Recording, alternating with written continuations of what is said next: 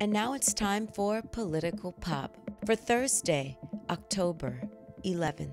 Hurricane Michael now downgraded to tropical storm. However, state of emergency remains for several states Florida, Georgia, North Carolina, South Carolina, and areas in Alabama all have declared emergencies.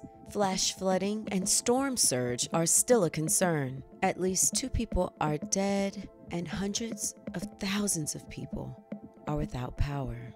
And as the storm moves from Georgia up to the Carolinas, remember some there are still recovering from Hurricane Florence.